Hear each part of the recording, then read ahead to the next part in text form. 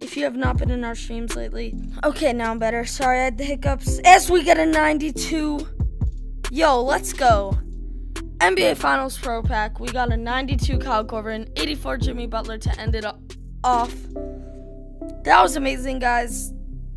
Um, what I wanted to also do in this video, I want to show you my poll that I got in my stream.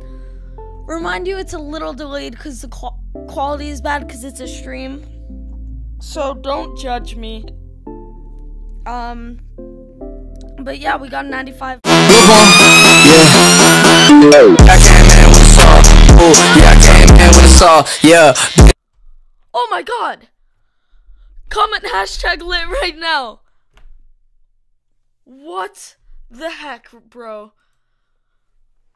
Oh my.